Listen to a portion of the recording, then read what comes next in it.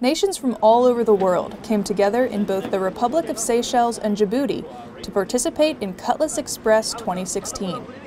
The exercise has an overall goal of increasing maritime safety and security, and does this by placing teams from 18 participating nations in scenarios they could actually face on the water.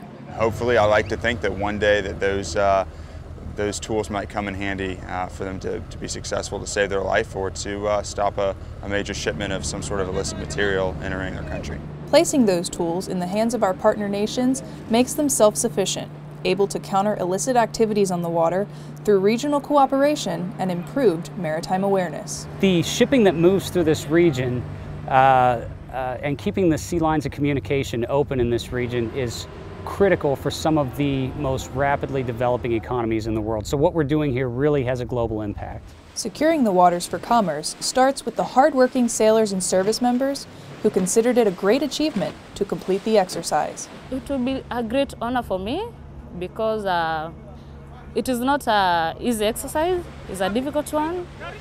So I have to practice due diligence of what I've been taught. Even with Cutlass Express being so large and complex, the takeaway can be quite simple. I'll go home, I'll practice more, and I will help others. Reporting from Camp Lemonnier in Djibouti, I'm Senior Airman Nina Orlando.